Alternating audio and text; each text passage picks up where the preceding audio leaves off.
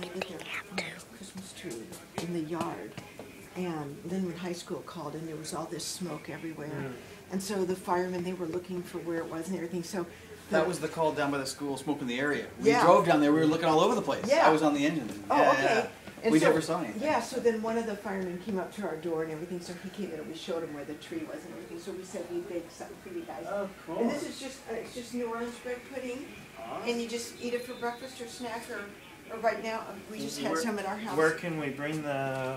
I put my address back here, just call me though, Oh, and I'll, and I'll come Okay. get it. Do you want to go look at the fire truck? Yeah. While you're here? Yeah. Come on, let's go look. If you just slice off some and throw it in the mic, Thank you. Yeah. you know, it's all warm and good Oh, for nice. What's your name? Caleb? Caleb. I'm Tim. Here, Let me, let me video you with Sam. Okay. I don't know how to do it, is it on? Yeah, it's on. Okay, okay. All right. See, which, which one do you want to see first? Yeah. Let's look at this one. I win.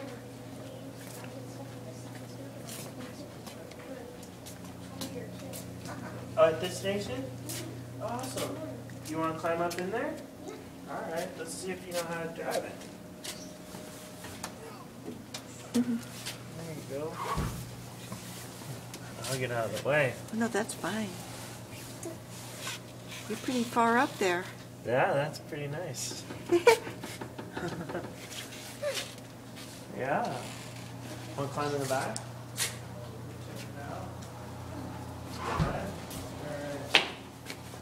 There's a little more room back here. Ooh, Watch your knees, those hurt. Yeah, let me help you up on the first part. There you go. this is so fun. You know, we have been meaning to do this for the longest time, bake stuff and bring it down. And then, you know, it was like, okay, when this happened, we were so thankful that you guys came out. And the lady on 911, she was having trouble because I didn't have the address. I only said it was in the cul-de-sac next door to me.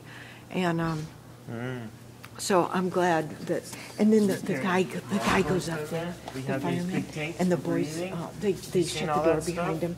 And he said, um, we see that there's smoke coming There you from. go, buddy. Wow. Shake hands. welcome. You wanna want to look shake hands and this thank? Thank you. Um, and they go, oh, our barbecue malfunctioned. yeah, right. There was this cone that was just an orange glow by then in their Oh, backyard. Nice. Yeah, you can climb in there if you want. See, we got lights. So you got a bed and What do you see in there? Here, you video it now. And say what's in there that you're seeing. Narrate The it. bed. Walkie talkies, I guess. yeah, Mhm. computer. So it is, That's nice. goes up and down Get down. That. Caleb, get, there's their clothes all ready for when they have to hurry. Yep. Yeah. Once we're all set up with the pants, ready to jump in there. Get a picture of the real. Like you, you keep your shoes on and everything, you just get inside. No, we can pull these, these Now videotape that. Unzip, pull them up, jump. They're heavy, huh? Me in here. Just don't take the turn the video off. I won't, I don't even know how. Is it Yeah, it's a little heavy. it's pretty heavy, huh? So Caleb, look, over here is where they said they just, they jump in their clothes and then away they go. Off to help people. That's all they do is help people. All the time. They're always ready to help, aren't they? Mhm. And here's how they keep their legs all strong and keep the six pack going. See, look over here. Look at these. Look at all this action. How do you think they stay fit? You think a fat man's going to come and help us? I don't think so. Look at it all. Look at Mm-hmm. We're always